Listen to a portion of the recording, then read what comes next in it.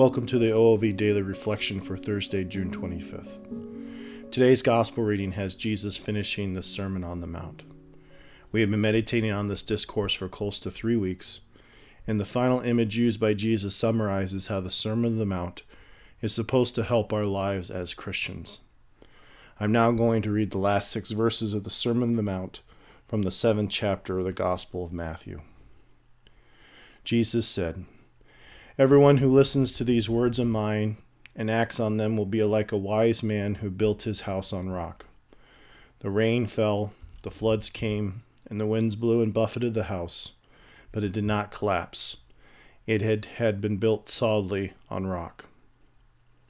And everyone who listens to these words of mine but does not act on them will be like a fool who built his house on sand. The rain fell, the floods came, and the wind blew and buffeted the house, and it collapsed and was completely ruined. When Jesus finished these words, the crowds were astonished at his teaching, for he taught them as one having authority, and not as their scribes. I have talked about wisdom before in the daily reflections, but I believe this passage helps us to provide some more context to our understanding of wisdom.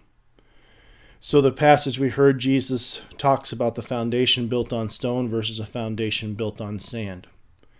And again, this image helps us to understand the entirety of the Sermon on the Mount.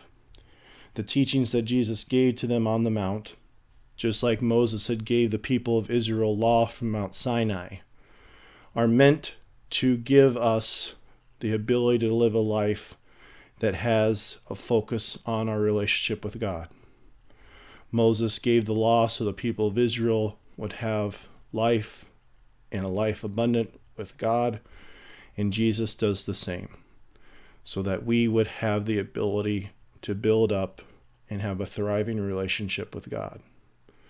So, from the Beatitudes to Jesus teaching us to our Father, to the warnings about false teaching, the Sermon on the Mount gives us so much that we can act upon and put into practice so that we can strengthen our relationship with God. And when we have a strong relationship with God, our life is built on a strong foundation.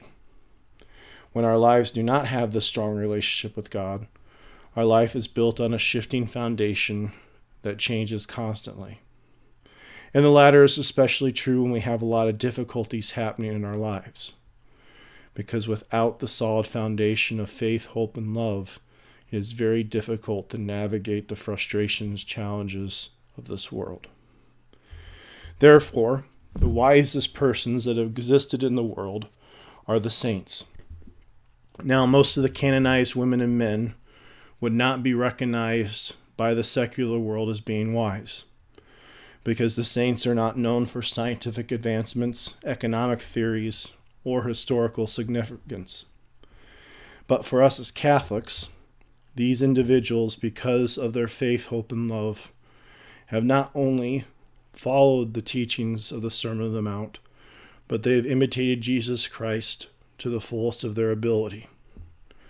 Thus, they have a life built on a solid foundation that helped them to endure so much in this world. In fact, they put their entire life in order in accordance with the Sermon on the Mount in the example of Jesus Christ.